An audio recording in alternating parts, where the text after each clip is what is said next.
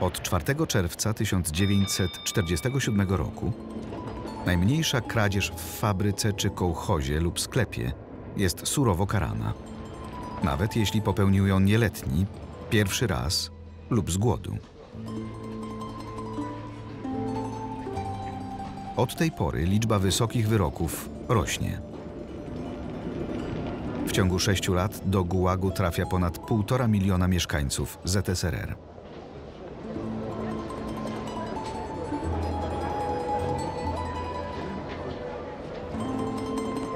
Wśród skazanych za kradzież jest wiele kobiet, wojennych wdów i matek z małymi dziećmi. Nie są traktowane ulgowo.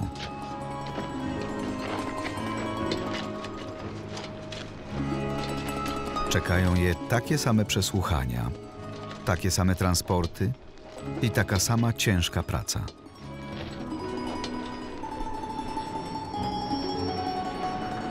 Na wielkich budowach gułagu kobiety pracują tak samo jak mężczyźni.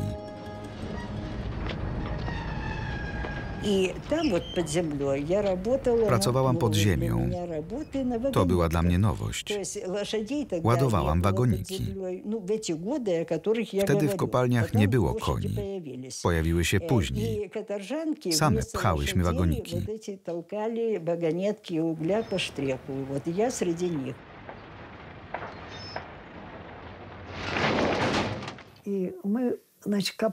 Wykopywałyśmy i przewoziłyśmy ziemię taczkami. Budowałyśmy coś w rodzaju grobli.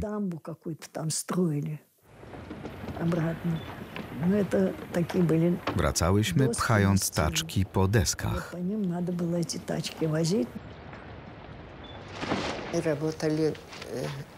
Pracowałam na wyrębie. Normy były wyśrubowane.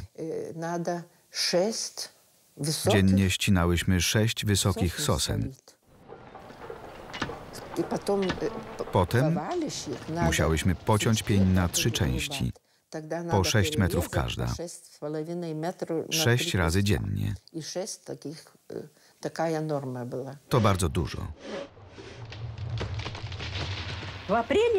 W kwietniu wysłano nas na wyrąb. Śnieg po pas, по пояс.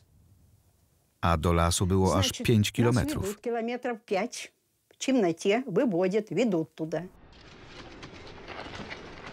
Строили железную дорогу, которая Kładłyśmy от tory зоны coraz всё время dalej od удалялась. obozu.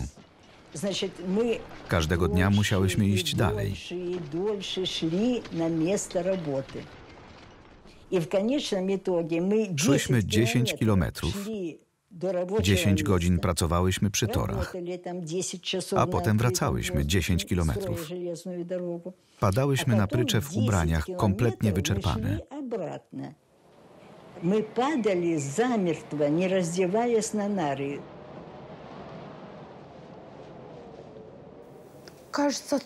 Ledwo zasnęłam, a już musiałam wstawać i iść do pracy. иди, и опять иди. Tak było dzień w dzień. Была земляная работа. Kopałyśmy Мы должны fundamenty. были, а, Kilofem эту самую, rozbijałyśmy а, zmarzlinę. киркой разбивать мерзлоту, Potem napełniałyśmy накладывать skrzynkę на ziemią. носилки и Niosłyśmy нести за 300 metrów metrów, tam всё это i składać, wysypywałyśmy. przetrąbować. Kiedy всё это tam, e, za- Jeśli była zamierzało, zamarznięta, должны byli делать всё tam musiałyśmy i ją нести сюда odnieść. обратно. Nasz dowódca Jak mówił, говорил начальник, nie мне interesuje нужна mnie ваша wasza работа, praca. мне нужны ваши Jesteście tu, żeby cierpieć.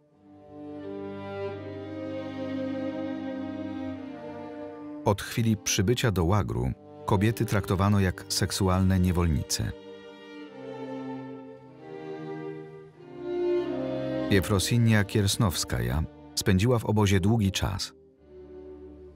Po wyjściu narysowała kronikę swoich przeżyć.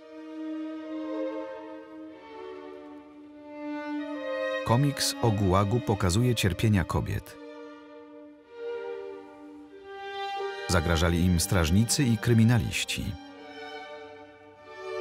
Upokorzenia i przemoc stały się normą, podobnie jak gwałty. W Gułagu uroda była przekleństwem.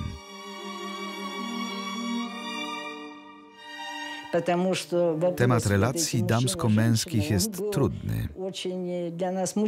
Od młodych kobiet żądano pewnych usług, musiały to robić. Za odmowę trafiały do kopalni.